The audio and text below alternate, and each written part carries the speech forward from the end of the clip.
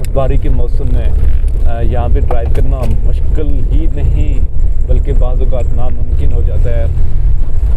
बर्फबारी में ड्राइविंग करने का तो बहुत ही मज़ा तो कोई ऐसी जगह आपको लगी हो जहाँ से गुजरते हुए आपको डर और खौफ महसूस हुआ हो? हम देख रहे हैं ये बड़ी मुश्किल से यहाँ पे गाड़ी गुजरती है। गुजर रही है।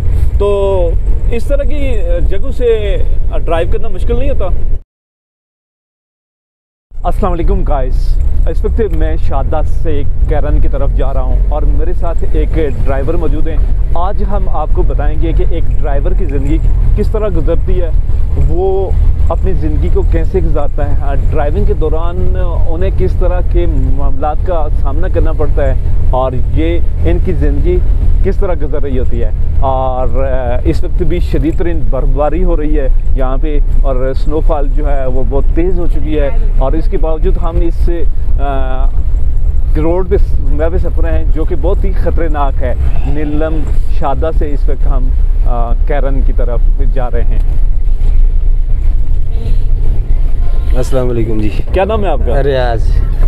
अच्छा कुछ बताइएगा ना आपने बारे में। मैं 20 साल से इस रोड पर ड्राइविंग कर रहा हूँ। पहले हमारे पास ट्रक हुआ करते थे फिर बसें फिर मैंने ये गाड़ी ले ली। तो हम साथ ही गाँव है अपना जहाँ हम रहते हैं। क्या नाम है आपकी गुंगा शेख बेला। अच्छा। शेख बेला गाँव का नाम है। ठीक है। रहने वाले लेकिन इस मौसम में हम घर नहीं जा सकते। ठीक है। जब आते हैं तो सुबह वापसी पे हमें गाड़ी नहीं मिलती। ठीक है। के लिए इसलिए हमें होटल पे ही रुकना पड़ता है। होटल पे बस खाना किस किस तरह का मिलता है? सर्दी है बिस्तरा उस तरह का नहीं मिलता। खाना अच्छा नहीं मिलता। ठीक है। तो रोड की हालत भी ठीक नहीं है तो रात में गाड़ियाँ यहाँ पे स्टार्ट करनी पड़ती हैं तो इसलिए खुद यहाँ पे हमें रुकना पड़ता है। ठीक है। तो ये अभी हम कल मुजफ्फराबाद से साढ़े ग्यारह बजे हम आए हैं। तो आज भी मुजफ्फराबाद जा रहे हैं? इनशाला इनशाला अब भी हम मुजफ्फराबाद जा रहे हैं बर्फबारी शुरू है।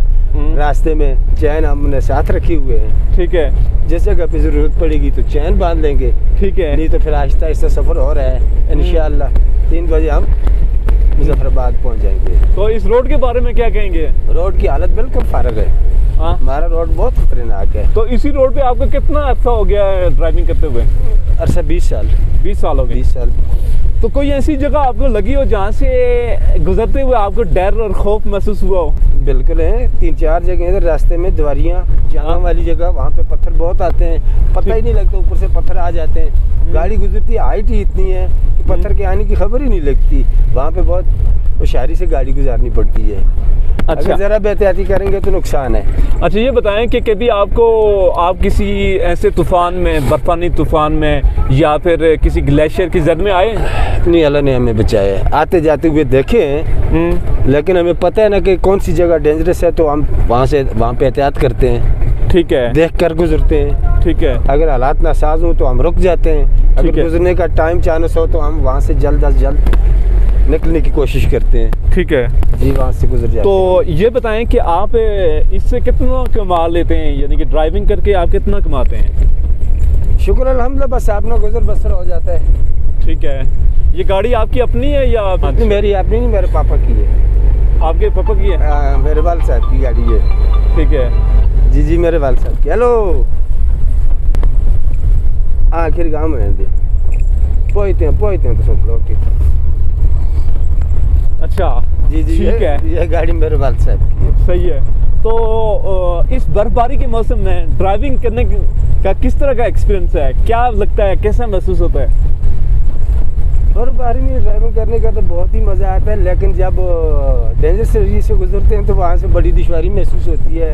पत्थर गिरने का खतरा है स्लाइडों वगैरह आने का खतरा होता है और सवारी भी कम होती है। रोड पर स्लिपिंग वगैरह बहुत है जिसकी वजह से परेशानी आलम में गुजरना पड़ता है वहाँ से। तो ये बताएँ कि आपने कौन कौन सी गाड़ियाँ ड्राइव की हैं? मतलब कि किस किस तरह की? सबसे छोटी और सबसे बड़ी गाड़ी। सबसे पहले मैंने ट्रक चलाए। पंजाब में। ठीक है। ट्रक। उसके बाद हमने इधर बसें ले ली थी। रॉकेट बस चलाई। उसके बाद हमने दूसरी एक निशान बस ले ली। वो चलाई। फिर। शौक पड़ गया एक जीप ले ली। वो भी अभी है मेरे पास। ठीक है। उसके बाद इस गाड़ी की मुझे शौक पड़ गया अभी साल हुआ ये गाड़ी मैंने ली है। ठीक है। तो अब इसको बस चला रहे हैं। अपने शौक से चला रहे हैं। बाकी गाड़ियों का काम वगैरह रोड की हालत नहीं है। हम्म, इधर गाड़ी काम बहुत निकालती है। इतनी आम आमद नहीं होती। जितना गाड़ी काम निकाल लेती है। ठीक है। तो इसलिए हम खुद चलाते हैं। ड्राइवर वगैरह को नहीं साथ रखते। ड्राइवर को नहीं साथ। जी जी। अच्छा यहाँ पे कारें भी आ जाती हैं ये कार भी हम देख रहे हैं कि सामने से आ रही है। इस तरह की। जी जी। यहाँ पे जो हमारे लोकल लोग हैं ना हम्म। उन्होंने रखी है। आपने इस्तेमाल के लिए बात सवारी के लिए भी रखी हुई है। ठीक है। सुबह सुबह के टाइम पे आजकल गाड़ियाँ नहीं आती ना बसें वगैरह। तो ये चार पाँच लोग साथ बिठाए और चलो शारदा की तरफ़ कोई अस्पताल जा रहा है कोई अदालतों में जा रहा है ठीक है। तो ये गाड़ियाँ उनको लेके आ जाती हैं। सही हेलो वालेकुम सलाम। ए आ रहे हैं ਅਸੀਂ खड़ी हैं बच्चों ख्वाहिशेरी ख्वाहिशेरी खड़ी हैं बच्चों ने ठीक है पुत्र। अच्छा जैसे ये बिल्कुल सामने से मैं देख रहा हूँ ना ये एक पहाड़ी नज़र आ रही है और हाँ। जी। जी जी जी। मैं ख्वाहिशेरी जी? ना हाले ना में पहुँचे हैं उसको।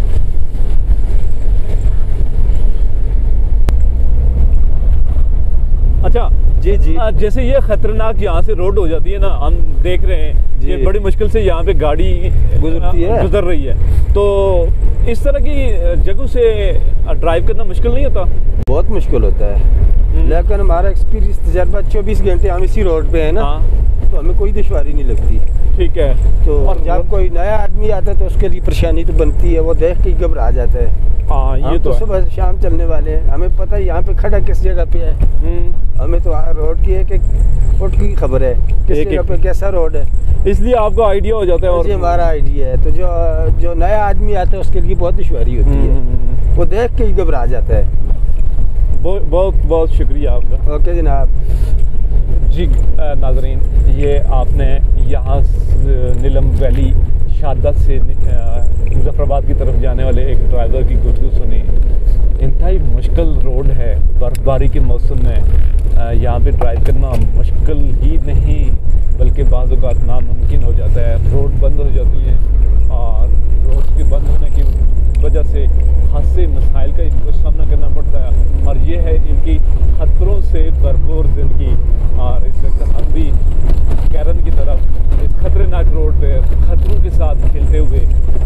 रहे हैं।